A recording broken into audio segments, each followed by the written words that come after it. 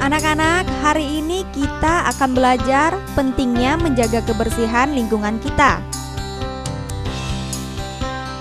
Kalian sudah tahu belum bahwa lingkungan di sekitar kita sangat penting kita jaga?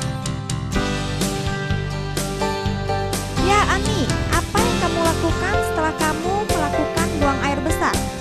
Menyiram dengan bersih lalu